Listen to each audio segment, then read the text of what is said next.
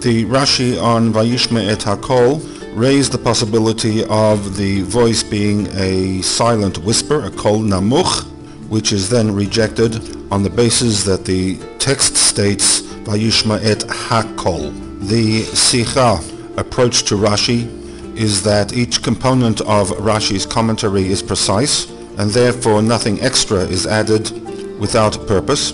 Question 3 argued that the entire second half of this Rashi would appear to be irrelevant to the interpretation of the word Hakol, where Rashi states with respect to this voice that Ukushemagia lepetach that upon reaching the entrance of the Ohel Moed, the voice intensity went down to zero decibels.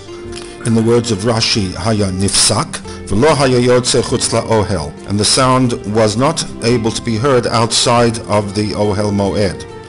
At face value, this component has very little to do with the definition of the word Hakol. The justification of this addition to Rashi is that it has been included to respond to a second difficulty.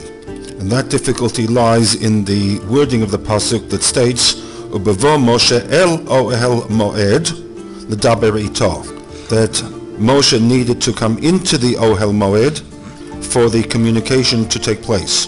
Were the voice communication with Moshe to be a kol namuch, then it could be argued that there was a need for Moshe to come into the Ohel Moed. Normal voice does not travel great distances. But we have just established a number of points. Firstly, that it was Hakol, a voice on par with the intensity of the sound heard at Matan Torah. Secondly, despite this intensity, the voice was Vayidaber Elav, heard by Moshe, not by Aharon we are clearly dealing with paranormal situations, otherwise known as Nisim. Once we have introduced the possibility of Nisim, then for all intents and purposes, the communication did not necessarily need to be linked with the Ohel Moed.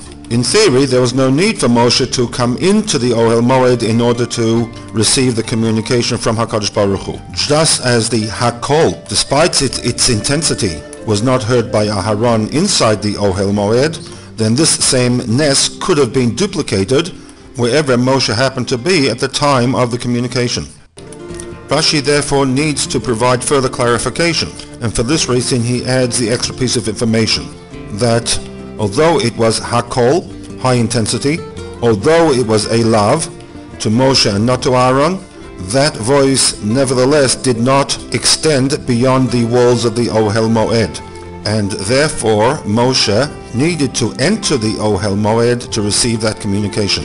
Rashi needs to add this piece of information only because he has reinterpreted the Hakol as a voice on par with that of Matan Torah. Were this not to be the case, in other words, were it to be a Kol Namuch, then the fact that Ubavo Moshe El Ohel Moed would have been quite understandable.